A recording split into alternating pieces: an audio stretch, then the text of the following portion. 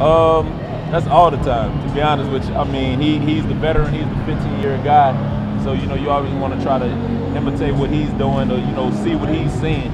You know, so I'm always asking questions regarding our offense, or you know, asking questions, uh, you know, on the blocking technique, or you know, always asking him about my route running and stuff. And uh, you know, as long as he's giving me feedback, I know I'm gonna be great.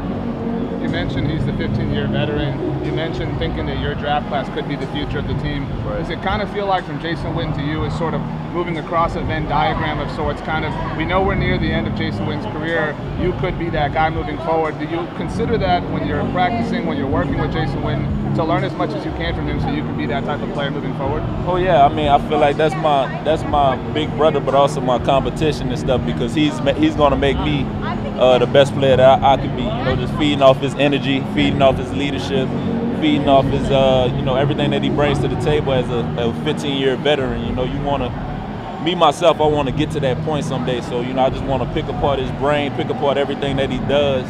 You know, even with him, you know, taking care of his body, you know, able to sustain, you know, a healthy body throughout his career. You know, you just want to take take everything that he brings to the table and try to add it to your game and make yourself the best version of yourself that you could be. So, you know, I'm, I'm very thankful to have, you know, a guy like that in my corner. And, uh, you know, whenever I watch film, like I said, that's, that's the person, that's the only person that I look at is him and myself. So, uh, you know, anything that he brings to the table to get better, that's what I do.